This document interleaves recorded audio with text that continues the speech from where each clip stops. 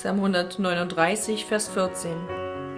Ich danke dir dafür, dass ich wunderbar gemacht bin. Wunderbar sind deine Werke. Das erkennt meine Seele. Jeremia 31, Vers 3. Der Herr ist mir erschienen von ferne. Ich habe dich je und je geliebt. Darum habe ich dich zu mir gezogen aus lauter Güte. Psalm 66, Vers 5. Kommt her und seht an die Werke Gottes, der so wunderbar ist in seinem Tun an den Menschenkindern. Johannes 3, Vers 16. Denn also hat Gott die Welt geliebt, dass er seinen eingeborenen Sohn gab, damit alle, die an ihn glauben, nicht verloren werden, sondern das ewige Leben haben.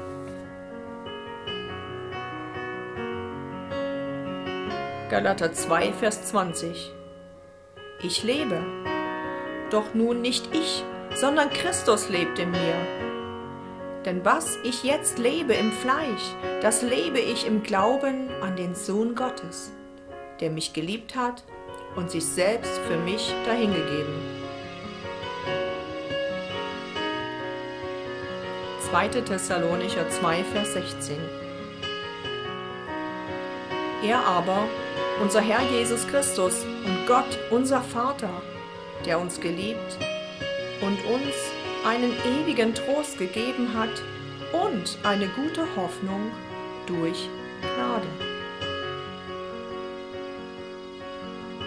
1. Johannes 4, Vers 10 Darin besteht die Liebe, nicht, dass wir Gott geliebt haben, sondern dass er uns geliebt hat und gesandt seinen Sohn zur Versöhnung unserer Sünden.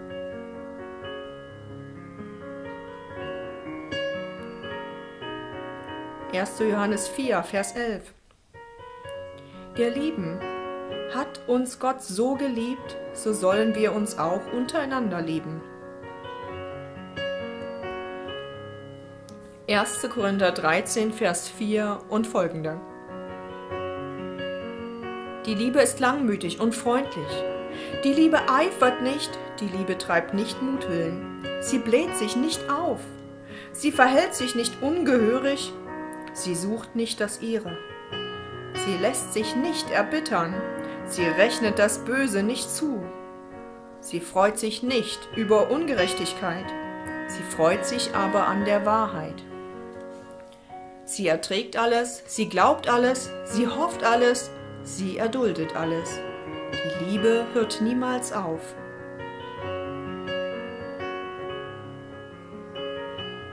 Römer 8, Vers 28. Wir wissen aber, dass denen, die Gott lieben, alle Dinge zum Besten dienen, denen, die nach seinem Ratschluss berufen sind. Römer 8, Vers 30. Die er aber vorherbestimmt hat, die hat er auch berufen. Und die er aber berufen hat, die hat er auch gerecht gemacht die er aber gerecht gemacht hat, die hat er auch verherrlicht. 1. Korinther 1, Vers 9 Denn Gott ist treu, durch den ihr berufen seid zur Gemeinschaft seines Sohnes Jesus Christus, unseres Herrn.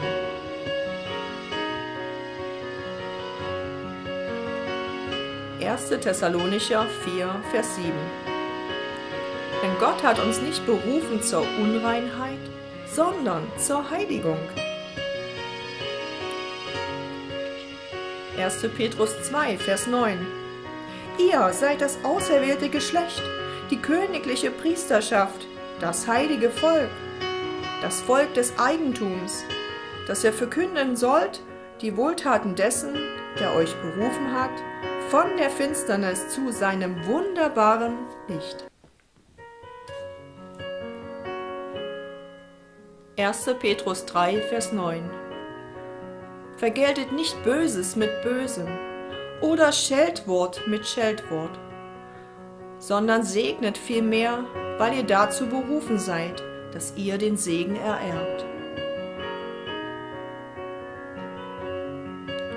5. Mose 28, Vers 5 Gesegnet wird sein dein Korb und dein Backtrog. 5. Mose 28, Vers 6 Gesegnet wirst du sein bei deinem Eingang und gesegnet bei deinem Ausgang. Psalm 45, Vers 3 Du bist der Schönste unter den Menschenkindern, voller Huld sind deine Lippen. Wahrlich, Gott hat dich gesegnet für ewig. Hohelied 1, Vers 15 Siehe, meine Freundin, du bist schön. Schön bist du, deine Augen sind wie Taubenaugen. Sprüche 3, Vers 5 Verlass dich auf den Herrn von ganzem Herzen und verlass dich nicht auf deinen Verstand. 1. Johannes 3, Vers 20 Wenn unser Herz uns verdammt, Gott ist größer als unser Herz und erkennt alle Dinge. 1. Mose 8, Vers 21 Das Dichten und Trachten des menschlichen Herzens ist böse von Jugend auf.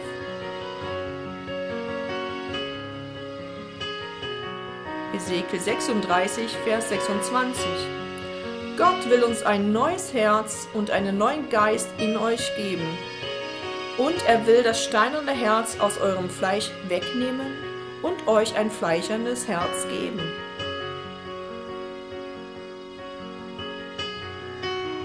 Psalm 128, Vers 4 Siehe, so wird gesegnet der Mensch, der den Herrn fürchtet. Epheser 1, Vers 3 Gelobt sei der Vater unseres Herrn Jesus Christus, der uns gesegnet hat mit allem geistlichen Segen im Himmel durch Christus.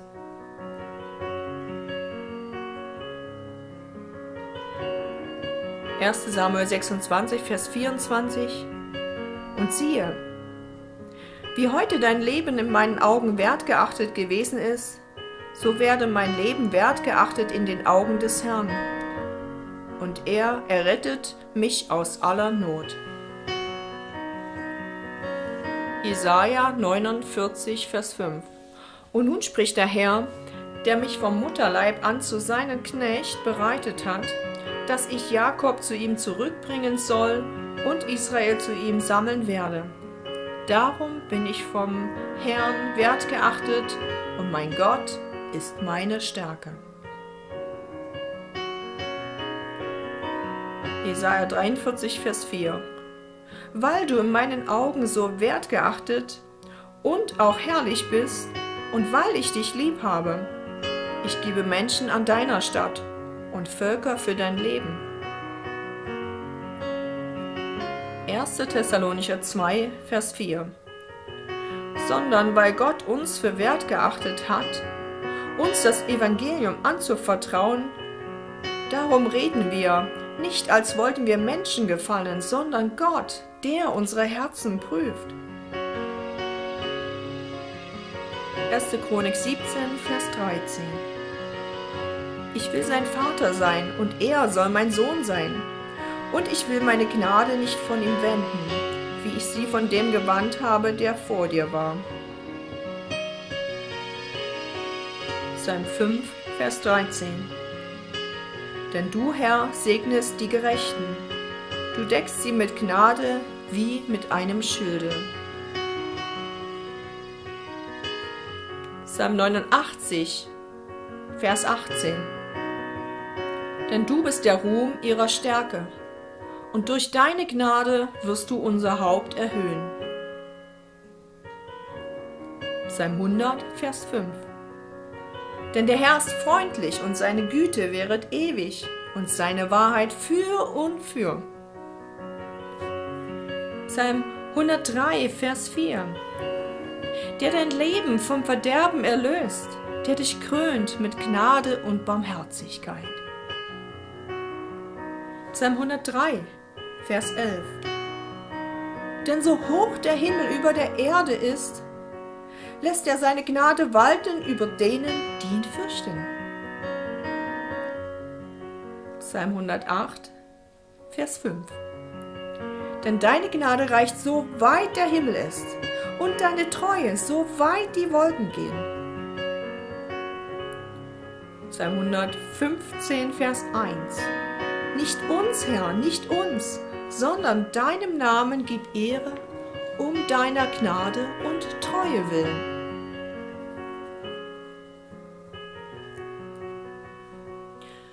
Jesaja 54, Vers 8 Ich habe mein Angesicht im Augenblick des Zorns ein wenig vor dir verborgen, aber mit ewiger Gnade will ich mich deiner erbarmen, spricht der Herr, dein Erlöser.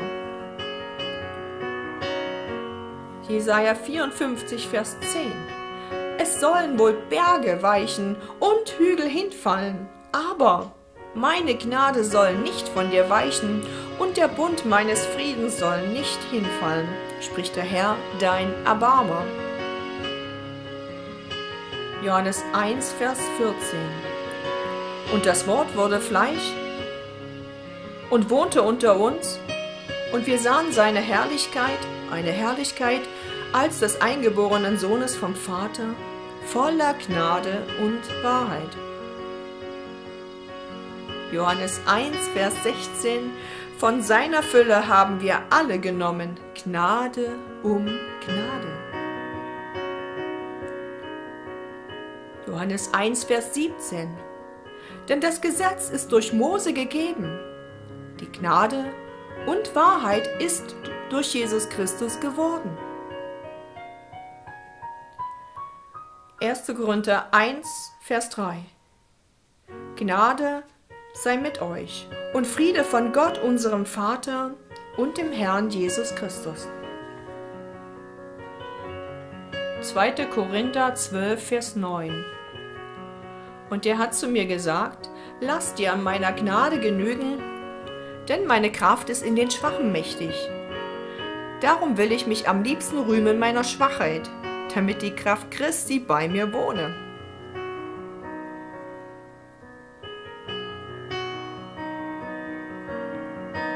2. Korinther 13, Vers 13.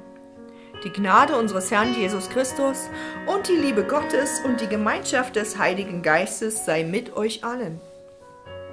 1. Petrus 5, Vers 5. Alle aber miteinander haltet fest an der Demut. Denn Gott widersteht den Hochmütigen, aber den Demütigen gibt er Gnade. Hebräer 4, Vers 16.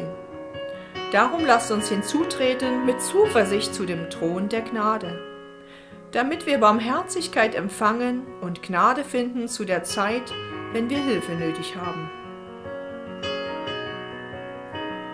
Hebräer 13, Vers 9 Lasst euch nicht durch mancherlei und fremder Lehre umtreiben, denn es ist ein köstlich Ding, wenn das Herz fest werde, welches geschieht durch Gnade.